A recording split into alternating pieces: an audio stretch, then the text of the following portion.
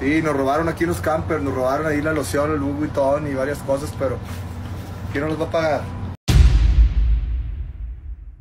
Poncho de Nigris experimentó un desafortunado incidente durante su participación en un programa de televisión en Televisa. Mientras se encontraba grabando, descubrió que alguien había ingresado a su camerino y sustraído varias de sus pertenencias, entre las cuales se encontraban valiosas lociones de la reconocida marca Louis Vuitton además de una botella de whisky de alta calidad. En un directo transmitido a través de sus redes sociales, el influencer regiomontano expresó su frustración por lo sucedido, señalando que se llevaron cosas que tenía guardadas con cuidado y consideración.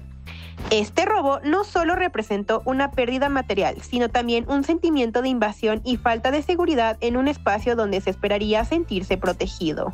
El valor de lo sustraído podría ser significativo, dado que solo una loción del Louis Vuitton puede superar los 6 mil pesos mexicanos. Aunque no se ha determinado el monto exacto del hurto, la magnitud del incidente es innegable.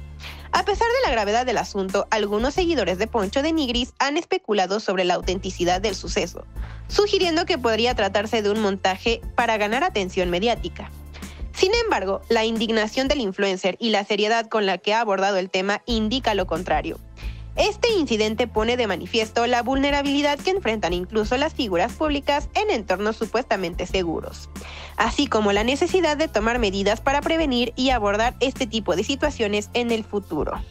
Algunos comentarios de sus seguidores bromean diciendo que seguro fue el Mayer. Fue el Mayer.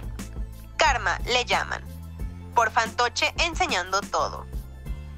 En otros temas, Manelik González traicionó la familia de un colaborador del programa Hoy por Dinero, metiéndose con el esposo de la hermana de su mejor amigo, así como lo escuchas. Los detalles en el siguiente video.